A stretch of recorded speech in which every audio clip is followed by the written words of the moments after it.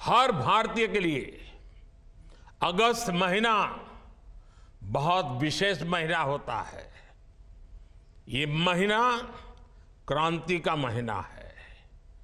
कृतज्ञता का महीना, महिमा, महीना है। कर्तव्य भावना का माह है।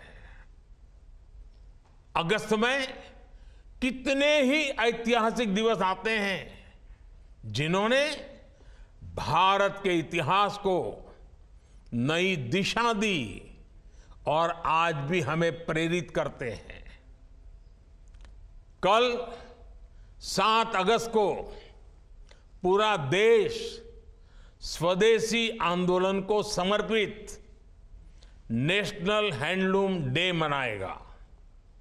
सात अगस्त की ये तारीख हर भारतीय के लिए वोकल फॉर लोकल होने के संकल्प को दोहराने का दिन है।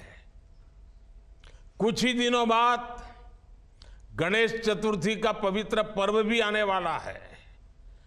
हमें अभी से इको फ्रेंडली गणेश चतुर्थी की तरफ़ जाना है।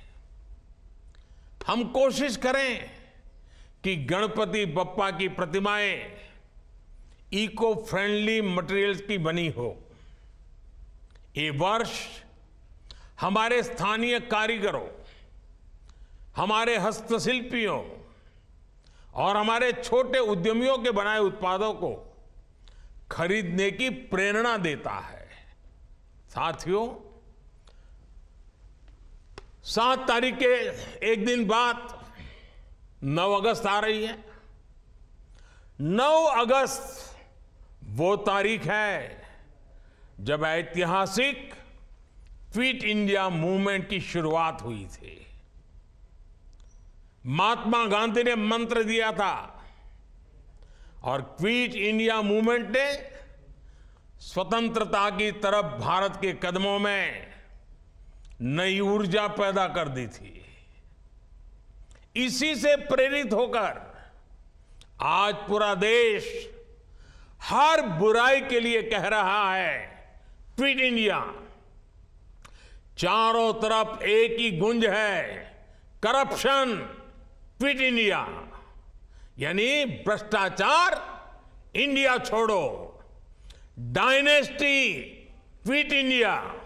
यानी परिवारवाद इंडिया छोड़ो, अपीजमेंट क्विट इंडिया। यानी तुष्टिकरण इंडिया छोड़ो। साथियों, उसके बाद 15 अगस्त की पूर्व संध्या 14 अगस्त 14 अगस्त का विभाजन विभीषिका स्मरण दिवस, जब माँ भारती के दो टुकड़े हो गए थे। एक ऐसा दिन है जो हर भारतीय की आँखों को नम कर देता है। ये उन अनगणित लोगों को याद करने का दिन है जिन्होंने भारत के बंटवारे की बड़ी कीमत चुकाई। ये उन परिवारों के प्रति एकजुटता को दिखाने का,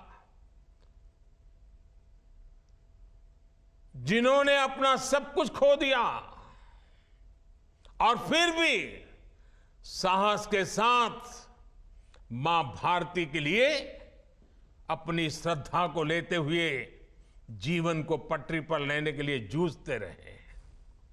आज ये अपने परिवार, अपने देश के हित में, देश के विकास में महत्वपूर्ण योगदान दे रहे हैं।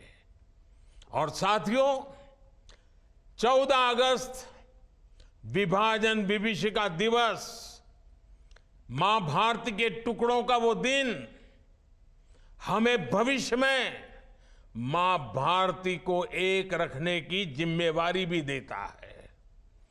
अब इस देश को किसी भी तरह से कोई नुकसान न हो पाए ये संकल्प करने का समय भी ये विभा, विभाजन विभीषिका दिवस 14 अगस्त है। साथियों देश का हर बच्चा बुज़ुर्ग सब कोई 15 अगस्त का इंतज़ार करता है। और हमारा 15 अगस्त, हमारा स्वतंत्रता दिवस, हमारे तिरंगे और हमारे राष्ट्र की प्रगति के प्रति हमारी प्रतिबद्धता को दोहराने का समय है। पिछले साल की तरह ही इस बार भी हमें हर घर तिरंगा फहराना है।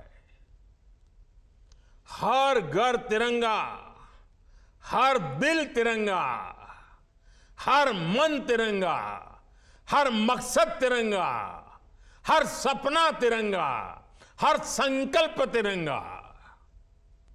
मैं देख रहा हूँ कि अनेक साथी आजकल सोशल मीडिया पर अपनी तिरंगे वाली डीपी अपडेट कर रहे हैं।